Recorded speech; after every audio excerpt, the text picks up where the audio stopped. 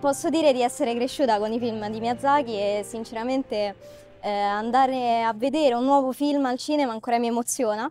E, um, il Castello Errante di Aula è il mio preferito e continuo a vederlo malgrado io l'abbia già visto migliaia di volte e non mi stanca mai, quindi eh, sono dei film che portano magia comunque nella, nella vita di tutti i giorni e sinceramente eh, ancora, ancora mi emoziono quando li guardo. Io di Miyazaki amo in una maniera infinita Porco Rosso, cioè per me è un film assurdo sulla guerra, sull'amore, su tutto e ritengo Miyazaki come un caposaldo de- del cinema generale.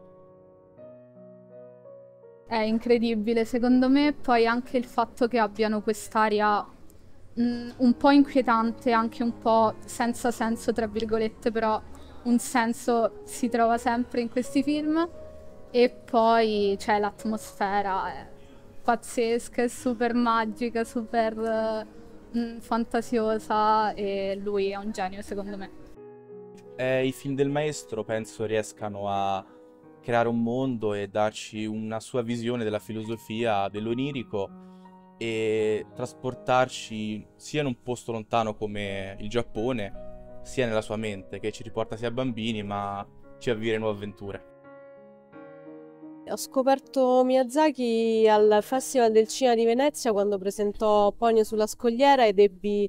l'emozione di vederlo con lui in sala. È un, un regista che riesce a fondere